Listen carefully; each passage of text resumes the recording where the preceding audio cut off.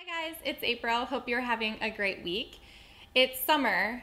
Well, it's almost summer, so I wanted to share with you some sun care tips and tricks as we get ready for summer.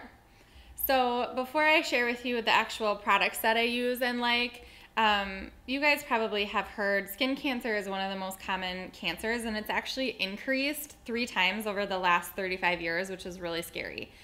Um, I've read some studies that say adults don't wear sun protection, they don't wear sunscreen, and they don't wear hats and sunglasses when they go outside. They're much more susceptible to damage from the sun. You should also be sure to visit your dermatologist once a year to get an overall skin check, as they'll check for any moles and spots and things like that that might be precancerous and, and help get those removed from your skin. So there's a ton of different sun care out there these days, and it's kind of hard to shop through the aisles and know what's good and what's bad and what you should be putting on your skin and what you shouldn't. Um, really, you don't need anything less than an SPF 15. SPF 15 should be like your minimum requirement for what you purchase.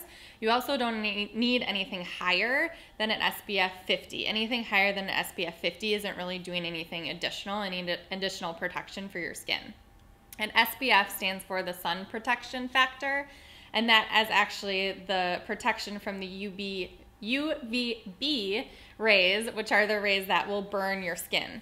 The other rays from the sun, the UVA rays, are the rays that are responsible for aging your skin. So you want to make sure you get a sunscreen or sun protection that prevents against both UVA and UVB rays the sun is responsible for 80% of the aging on your skin. So that's where the UVA ray protection comes in super handy.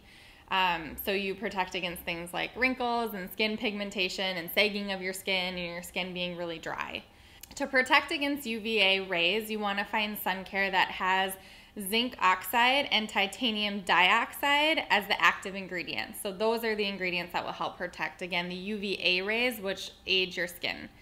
You also want to look for sun care that doesn't have oxybenzone in it. Oxybenzone is a chemical that when it's applied actually gets absorbed into your skin and absorbed into your bloodstream.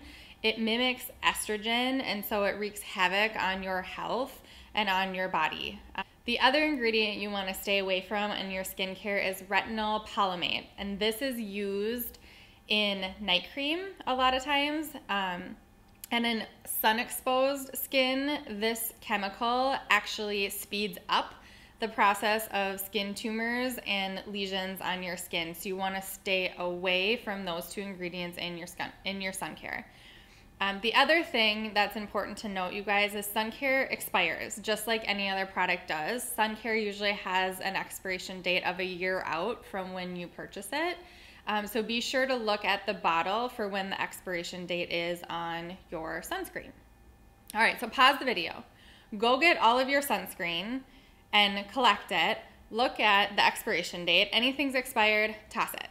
Look and see if it has active ingredients of zinc oxide and titanium dioxide. Those are good, hang on to those. Now check the ingredient list and see if it has oxybenzone or retinol palmate. If it has either of those ingredients, pitch them. Now I'm going to tell you about some of my favorite skincare items. The best advice I can give you on sun care products is to do your own research. So I gave you some tips on chemicals to avoid and ingredients to make sure your sun care has, but again, make sure you do your own research and you know what's in the products that you're putting on your skin and on your face. Um, a little bit of the difference of sunblock versus sunscreen sunscreen gets absorbed into your skin, which is why when you rub it in, it kind of acts like lotions. It just gets absorbed into your skin and therefore sometimes absorbed into your bloodstream. Um, sunblock, however, sits on top of your skin. So you don't need very much because it doesn't absorb in. And sunblock oftentimes has that white cast, and it's because of the titanium dioxide and the zinc oxide active ingredients in there. However, you guys, I have pretty, um, my skin tans fairly easily, but I do get burnt sometimes, especially in the beginning of the season when I'm not used to being in the sun. Since I've switched to sunblock, I haven't been burned once. So it's it protects your skin, but it still gives you a nice tan. The other thing you should always have on hand when you're going out in the sun is a great hat. like this one. I just got this from Anthropologie um, and a great pair of sunglasses.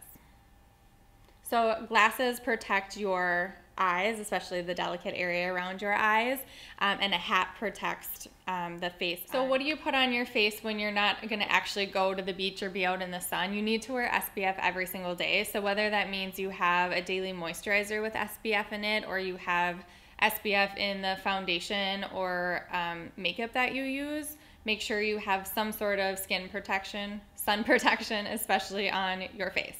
Um, so a couple of my favorites, I use this fruit pigmented tinted moisturizer from the brand 100% Pure. This has an SPF of 20 in it. I also use their powder that also has an SPF of 20 in it over the top of this in the summer. I got a couple items in recent Petit Vour boxes that I haven't tried yet, but I'm excited to. It's the Juice Beauty Stem Cellular Repair CC Cream, and this has an SPF of 30. Um, and then the Suntegrity 5-in-1 Natural Moisturizing Face Sunscreen, and this has an SPF of 30 as well. So again, do your research, look for those products, but make sure that you're protecting your skin on the daily. If I'm going to the beach or to a pool, I like to keep my sunscreen all together, and I actually use this pouch from Hayden Reis. If you guys checked out my top 10 travel favorites video, and I'll link it somewhere around here, um, you saw my beach bag or my carry-on from Hayden Reis, and I love this brand because all of their stuff is made from sailcloth, so it wipes clean super easy if you happen to spill something on it. Um, and what's great about their little pouches is you can even throw these in the washing machine. So.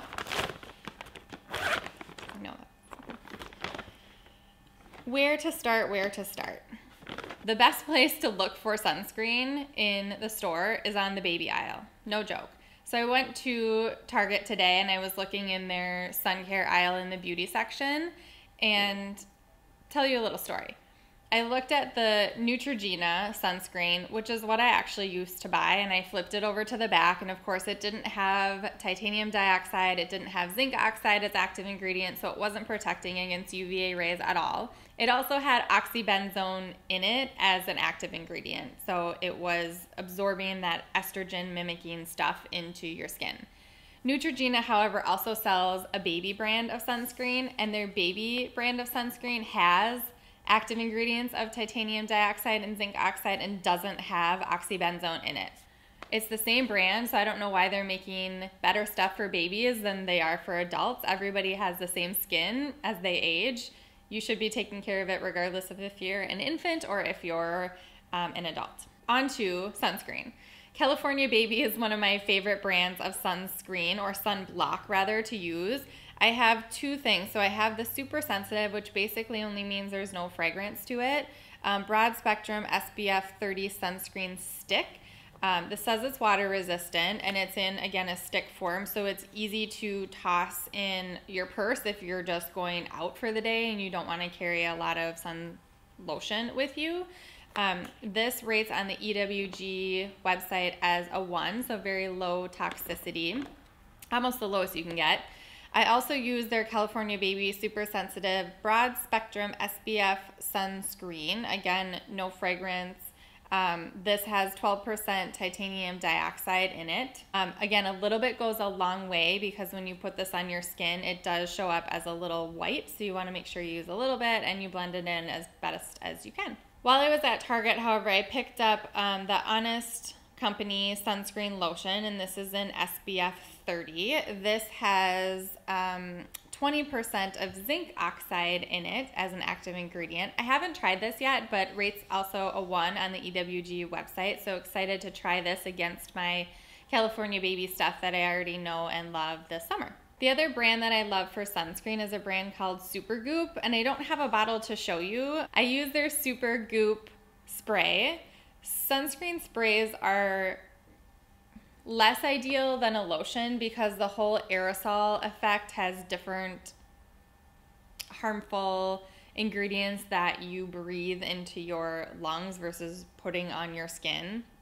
But it's an SPF of 30 or 50 and it rates a 4 on the EWG website. So in terms of spray sunscreen if it's the easiest to take with you and use, get a version that's going to be the cleanest version of whatever's most convenient for you.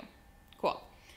I also picked up last time I was at Sephora, they have the Supergoop Sun Defying Sunscreen Oil, and this is an SPF 50. Um, sun tanning oils are obviously really bad for you. Most of them come in a very low, if any, SPF. They don't have good ingredients in them, they don't have the UVA protection in them. Um, but this oil is made from 100% natural ingredients. Last but not least, I wanted to share with you the sunscreen that I use on my face. I use a different sunscreen for my face than I do for the rest of my body because the skin on your face is much more sensitive and I want to be sure I'm taking care of it and keeping it as young looking as possible for as long as I can.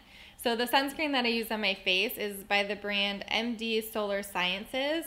This is their broad spectrum SPF 50 UVA UVB sunscreen uh, mineral cream. And you can buy this um, tinted or not tinted if you have a preference on that.